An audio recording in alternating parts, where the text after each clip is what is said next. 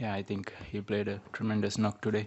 Um, uh, that eases the pressure uh, because um, at that time uh, run rate was about seven, seven and a half. So uh, when he came to bat, he just rotate the strike and hit boundaries. So it, it was easy for me uh, in the other end because uh, uh, I just want to uh, rotate the strike and uh, let Kumar to bat through the innings. Yeah, because in this wicket, it was really flat. I think nothing for the fast bowlers, just uh, um, no seam, no swing.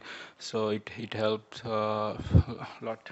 I think anything can happen in this tournament. Uh, you know, uh, we were uh, one down when things started, uh, but we came back really hard.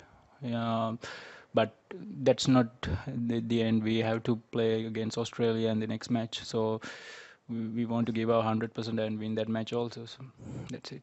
Um, yeah, I think um, our fielding wasn't uh, um, good because uh, we had some um, uh, issues in the past uh, too.